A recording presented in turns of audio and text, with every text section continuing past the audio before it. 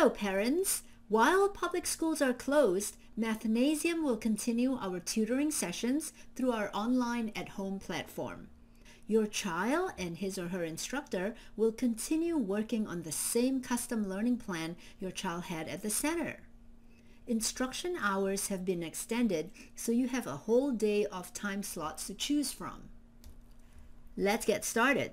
From the parent portal, mathschedule.com, click the calendar or login button.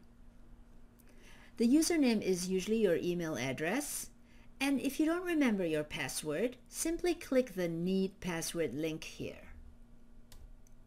Once you're logged in, you'll see three tabs. The tab you want is the first tab, Make Appointment.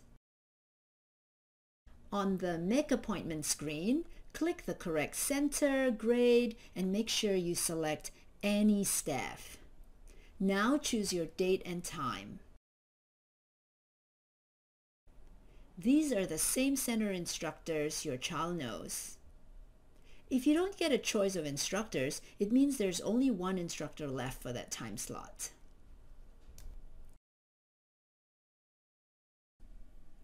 On the second tab, you'll see the My Schedule link.